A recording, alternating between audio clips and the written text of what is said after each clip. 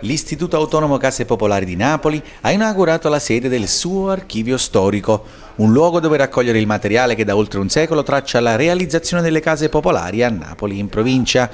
Un'immensa mole di materiale recuperato comprende luci di planimetrie e disegni che per la prima volta dovranno essere digitalizzati in modo da rendere la consultazione di facile accesso all'utenza.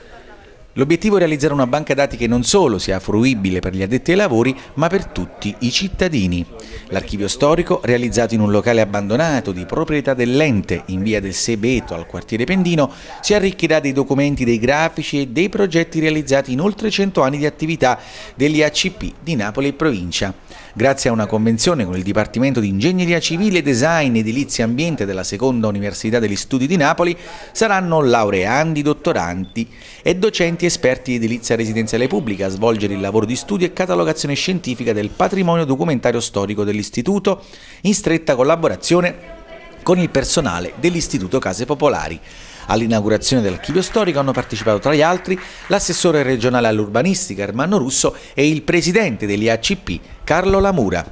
La nostra intenzione con quella delle università, diciamo con, l'intervento, le, le